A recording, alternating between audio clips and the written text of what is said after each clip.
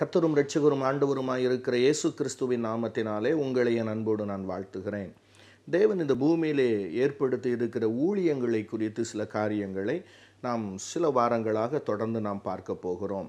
முதலாவது எபேசிய நான்காவது அதிகாரம் பதினொன்று பனிரெண்டு ஆகிய இரண்டு வசனங்களை நான் உங்களுக்காக வாசிக்கிறேன். மேலும் நாம் அனைவரும் தேவனுடைய குமாரனை பற்றும் விசுவாசத்திலும் அறிவிலும் ஒருமனப்பட்டவர்களாகி கிறிஸ்துவனுடைய நிறைவான வளர்ச்சியின் அளவுக்கு தக்க பூரண புருஷராகும் வரைக்கும் பரிசுத்தவான்கள் சீர்பொருந்தும் பொருட்டு சுவிசேஷ ஊழியத்தின் வேலைக்காகவும் கிறிஸ்துவின் சரீரமான சபையானது பக்தி விருத்தி அடைவதற்காகவும் அவர் சிலரை அப்போஸ்தலராகவும் சிலரை தீர்க்கதரிசிகளாகவும் சிலரை சுவிசேஷகராகவும் சிலரை மெய்ப்பராகவும் போதகராகவும் ஏற்படுத்தினார். என கருமையான தேவனுடைய பிள்ளைகளே ஊழியங்கள் ஏற்படுத்தப்பட்டதின் நோக்கம் இந்த வேத பகுதியிலே சொல்லப்பட்டிருக்கிறது. ஐந்து காரியங்களுக்காக தேவன் ஊழியங்களை ஏற்படுத்தி இருக்கிறார் முதலாவது இயேசு கிறிஸ்துவை பற்றிய அறிவிலும் நாம் ஒருமனப்பட்டவர்களாக இருக்க வேண்டுமாம் இரண்டாவது கிறிஸ்துவினுடைய நிறைவான வளர்ச்சியின் அளவுக்கு தக்க நாம் பூரண புருஷராக வேண்டும் என்று வேதம் கூறுகிறது. மூன்றாவது பரிசுத்தவான்களாகிய நாம் சீர் பொருந்த வேண்டும் என்று எழுதப்பட்டிருக்கிறது. நான்காவது சுவிசேஷ ஊழியத்தின் வேலைக்காக. ஐந்தாவது சபையானது பக்தி விருத்தி அடைவதற்காக. இப்படி ஐந்து காரியங்களுக்காக தேவன் ஐந்து விதமான ஊழியங்களை பூமியிலே ஏற்படுத்தி இருக்கிறார் இந்த ஐந்து விதமான ஊழியங்களிலே முதலாவது அப்போஸ்தல ஊழியம் தீர்க்கதரிசி ஊழியம் சுவிசேஷ ஊழியம் மேய்ப்பர் ஊழியம் போதக ஊழியம். இதில் இன்றைக்கு நாம் அப்போஸ்தல ஊழியங்களை குறித்து நாம் பார்க்க போகிறோம். என கருமையான தேவனுடைய பிள்ளைகளை அப்போஸ்தலாகிய பரிசுத்த பவுல் ரோமாபுரியாருக்கு எழுதின நிருபம். முதலாவது அதிகாரம் ஏழாவது வசனத்திலே இந்த அப்போஸ்தல ஊழியங்களை குறித்து அவர் எழுதுகிறார். என்ன சொல்லுகிறார்?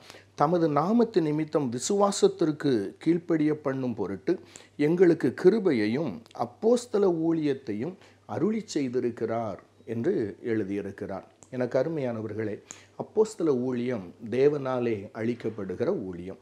இந்த அப்போஸ்தல ஊழியம் என்றால் என்ன?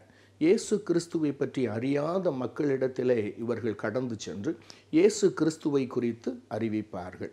அந்த ஜனங்கள் இயேசு கிறிஸ்துவை ஏற்றுக்கொண்ட உடனே அங்கு சபையானது நிறுவப்படும். அந்த சபையை இந்த அப்போஸ்தலர்கள் நிறுவுவார்கள்.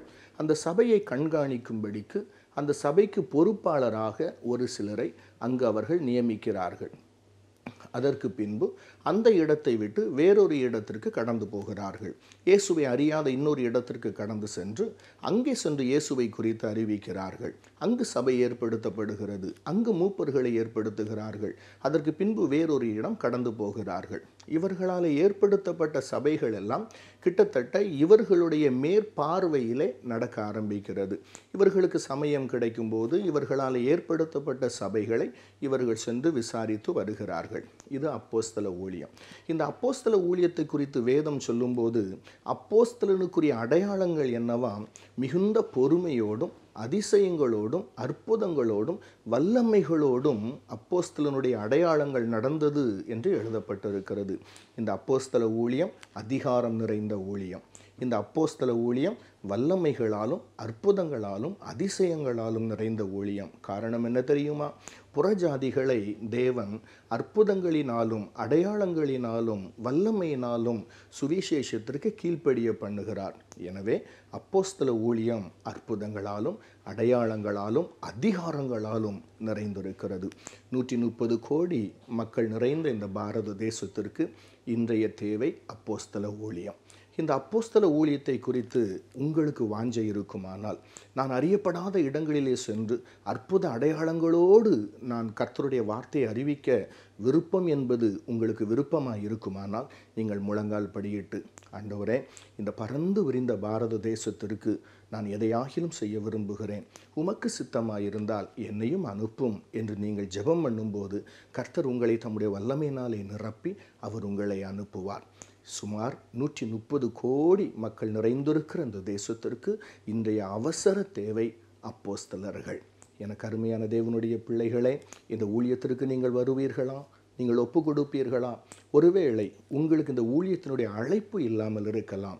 ஆனால் இப்படிப்பட்ட ஊழியங்களை செய்கிற தேவனுடைய மனிதர்களை நம்முடைய காணிக்கைகளினாலே நம்முடைய ஜெபத்தினாலே நம்முடைய அன்பின் உற்சாகமூட்டும் வார்த்தைகளினாலே அவர்களை தாங்குவது நமக்கு கடமையாக இருக்கிறது இன்றைக்கு ஒப்பு கொடுப்பீர்களா கர்த்தருக்காக எதையாகிலும் செய்ய நீங்கள் முன் வாருங்கள். கர்த்தர் உங்களை ஆசீர்வதிப்பார். God bless you God bless you